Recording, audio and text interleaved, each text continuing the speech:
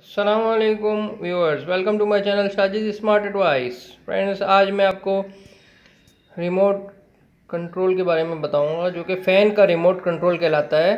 इससे आप फ़ैन को जो सीलिंग पे लगा होता है, उसको कंट्रोल कर सकते हैं बसानी और अगर आप कोई भी काम में बिज़ी हों तो उससे जो है आप काम से बच सकते हैं, बग़ैर उठे आप जो है।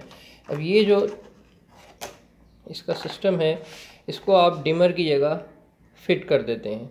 जिस जगह पे डिमर फिट हुआ हुआ होता है, उस जगह पे ये सिस्टम आप वॉल में इसको फिक्स कर देते हैं। और ये रिमोट कंट्रोल है, जिसमें के सेल डलते हैं, दो सेल्स, और उससे आप बसानी जो है उसको कंट्रोल कर सकते हैं, फ़ैन को।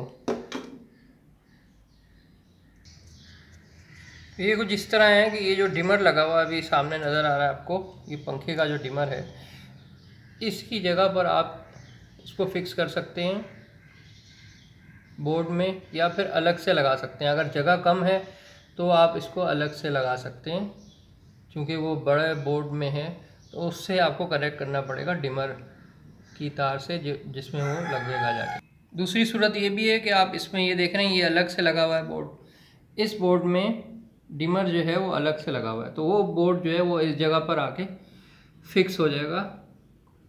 तो वो अब आसानी जो है वर्क कर सकता है और फिर हम रिमोट कंट्रोल से अपना पंखे को कंट्रोल कर सकते हैं।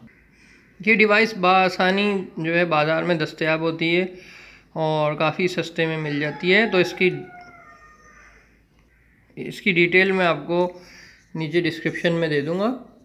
उसमें आप देख सकते हैं और इससे आप फ़ायदा उठा सकते हैं और ख़रीद के अपने पास इसको फिक्स कर सकते हैं और पंखे को रिमोट कंट्रोल के ज़रिए चला सकते हैं। उम्मीद है आपको मेरी वीडियोस पसंद आ रही होंगी। अगर आपको मेरी वीडियो पसंद आई हो तो लाइक ज़रूर कीजिएगा सब्सक्राइब भी कीजिएगा मेरे चैनल को। अल्लाह हाफिज़।